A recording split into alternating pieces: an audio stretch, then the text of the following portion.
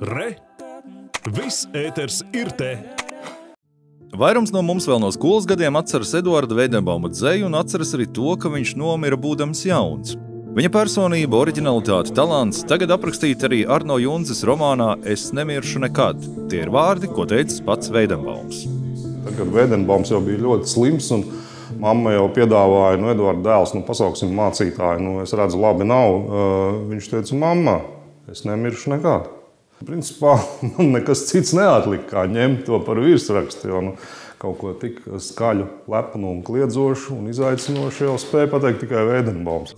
Un tas ir fakts. Šajā romānā Arno Junze pieturas tieši pie faktiem, un Veidenbauma atklāja no laika biedru fiksētām rindām.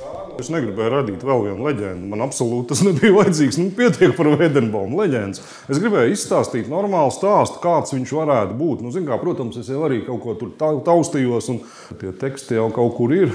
Viņi nav lieli. Nu, ir divi, trīs teikumi, kas nodara romānam tas nav tā, ka tu pēti kā pētnieks. Tas pavisam savādāk, bet nu, tie viens vai divi teikumi, viņi tev dod to materiālu, lai rakstītu.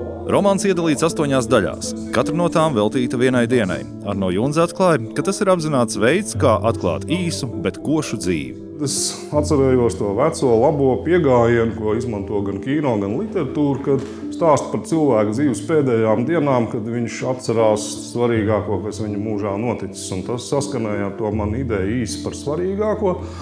Un, uh, es rakstīju to tādu, teiksim, tas ir apmēram pēdējais pusotrs mēnesis, kad viņš jau ir uz nāves robežas. Viņš reizēm ir nemaņā, reizēm viņš ir pie apziņas, viņš vēl spēja kustēties. Sākumā viņš vēl tur iet pāri romānā, beigās viņš saprot, ka viņš vairs nevar iziet. Es rakstu par to, kāds viņš bija nu, no mazām dienām līdz mūža beigām. Tad, nu, tas ir arī tajās astoņās dienās, caur tām atmiņām sakoncentrēts. Un, protams, ka tās atmiņas jau nav nejaušas, es jau lieku tās svarīgākās lietas tur iekšā.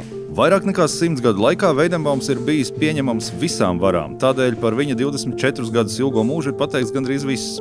Tāpat visur tiražētas tikai pāris dzinieku fotografijas. Uz šīs grāmatas vāka pirmo reizi tiek publicēta vēl viena Veidenbauma ģimene, kas ņemta no kāda grupas foto. Romāns iznāk izdevniecības dienas grāmatas sērijā Es esmu, kurā plānots izdot 13 romānus un tikpat monogrāfijas par latviešu literatūras klasiķiem. Par Veidembaumu monogrāfiju gatavo literatūras zinātniece Māra Grudule. Jānis Lācis, Raimons Rumba, Latvijas televīzija.